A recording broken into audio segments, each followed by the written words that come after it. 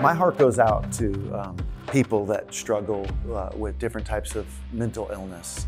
As somebody myself, uh, ever since I was a kid, I can remember just feeling anxious and having anxiety, um, being overcome with fears and worries, slipping into depression where I feel hopeless.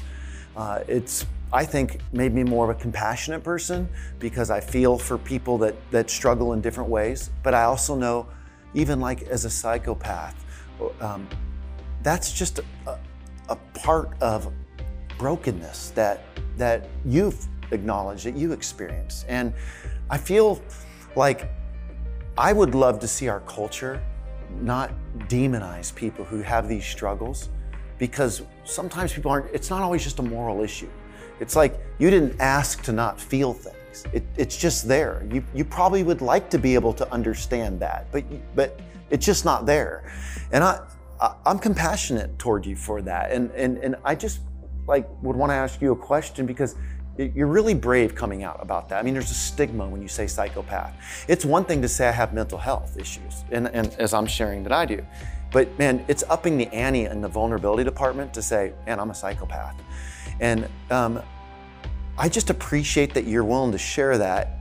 And I think that no one could have better advice than I would know of than you, David, on maybe somebody's raising a psychopath or maybe somebody's struggling with it and they just want hope and they just feel demonized and shut out by the church. Is there hope and how do you cope with it and what would you offer? Yeah, uh, it is. Uh, it's sad that there are, are, people who have to deal with this. There are people who have to deal with their kids uh, exhibiting uh, the characteristics of, of, psychopaths. I do get messages from people saying, uh, you know, my son or daughter did this horrible thing, killed a dog or something like that, and shows absolutely no remorse, just doesn't care. Uh, what do I do? And this isn't based on any uh, tremendous research. All I can say is a little bit from personal experience. I think the, the, the most important first step is getting a psychopath to realize that he or she is defective and not superior. So you grow up as a psychopath and you start seeing other people crying over things and you don't have those reactions and you start viewing them as inferior.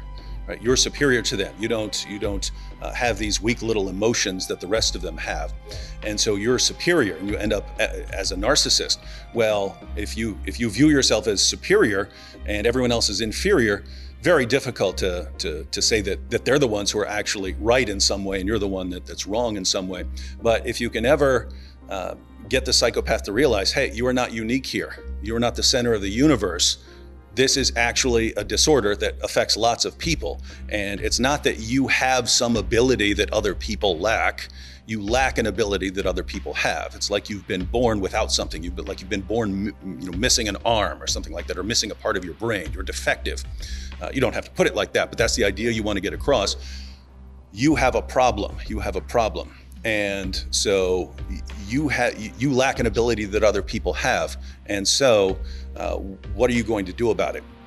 And so, if they're in that position to not, you know, if you can keep them from thinking that they're superior and better than everyone else, then they might want to start thinking, okay, well, well, you know, what can I do about this? One of the things I've done is I, have had to invent um, sort of replacement emotions over over the years, right? Like I don't feel guilt, but I understand situations where I should feel guilt. I, I know what I know what a situation is like where I sit back and say I should feel guilt over that. And there's a different kind of I don't know if I want to call it a feeling or what. There's a sense that, wow, I am messed up for not feeling guilty about doing this horrible thing. And so I, I, can just rename that guilt because it's as close as I can get, right? So I can say, yeah, I feel really guilty about this. And what I what I really mean is I lack the feeling that a normal person lacks. And I acknowledge that I'm really messed up because of that. And that is that's not that's not good. That's really bad that I'm defective in this way.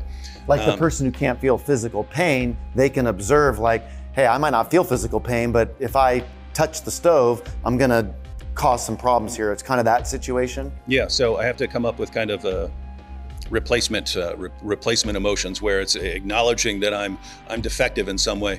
But uh, once a person has has gotten to that point, recognizing that that they are that they're missing something, well, then they can they can try to take steps, right? They can try to take take steps I do need to modify my behavior because I'm not better than other people. I'm actually defective and I need to do what's right, even though I'm lacking something that other people have. And so it might be more difficult for me, but I, I, I still have to go out there and do it. And what you would what you would hope for is that uh, you know this can actually lead to the gospel because you know we're we're fallen sinful creatures and we're fallen in in various ways. But um, you know if we look forward to our, our resurrection when all of this will be repaired um, I, would think that that's the, the best hope for uh, a psychopath